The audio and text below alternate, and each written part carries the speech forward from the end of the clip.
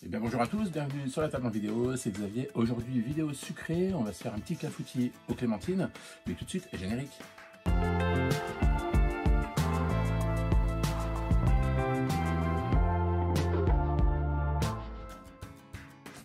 Allez on regarde tout de suite donc au niveau des ingrédients qu'est-ce qu'il va nous falloir? On aura besoin de entiers, de farine, de levure chimique, de deux clémentines, un peu de miel, du sucre et du fromage blanc. Allez, on va commencer tout de suite donc euh, par réaliser la, pâte du clafoutis. On va venir verser nos deux œufs entiers dans le saladier. On va y ajouter notre sucre, notre fromage blanc. vous pouvez prendre du fromage blanc, du yaourt nature ou de la faisselle.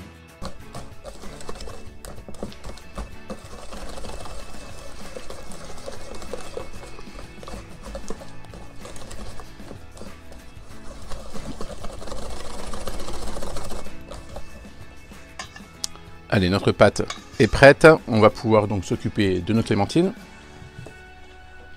On va venir simplement les éplucher. Euh, donc la recette se prête avec euh, différents fruits, hein, suivant les saisons. Vous pouvez utiliser donc euh, du kiwi, de la pomme, de l'abricot, de la pêche, des fraises. Voilà, là j'ai opté pour la clémentine. On est en plein dans la saison. A few minutes later. Allez, nos clémentines sont épluchées. On va simplement donc les couper en tranches assez épaisses environ un demi centimètre d'épaisseur.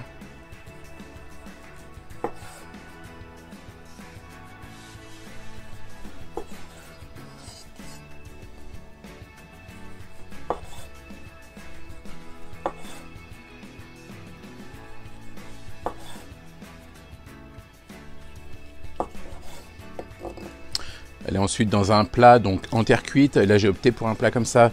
Vous pouvez adapter donc euh, faire des petits clafoutis individuels hein, selon votre choix. Là donc j'utilise un moule d'environ 4-5 cm d'épaisseur, 12 cm de large de diamètre. On va venir donc, euh, voilà là je l'ai chemisé, hein, donc euh, j'ai beurré mon moule et j'y ai fait adhérer donc du sucre semoule.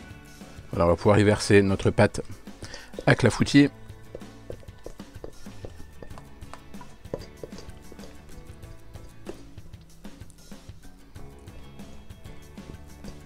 J'allais oublier quelque chose. Êtes-vous abonné à ma chaîne? Alors, cliquez sur le bouton rouge, abonnez-vous. Je vous le rappelle, la table en vidéo, c'est une vidéo sucrée tous les mardis à 18h et une vidéo salée tous les vendredis à 18h. Alors, abonnez-vous, partagez, likez et choisissez parmi plus de 200 vidéos le menu dont vous voulez composer. Voilà donc. Et pour finir, on va venir disposer donc nos mandarines, nos clémentines, pardon, sur le dessus.